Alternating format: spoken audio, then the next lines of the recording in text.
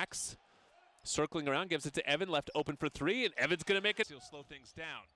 Evan Mobley going to take a right wing three. That one's